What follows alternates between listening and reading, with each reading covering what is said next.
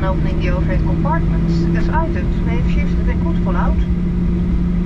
You can now switch on the mobile services on your phone again. On behalf of the entire crew, thank you for flying KLM. It was a pleasure having you on board with us today. We wish you a good stay in Amsterdam or a pleasant onward journey. We hope to see you again.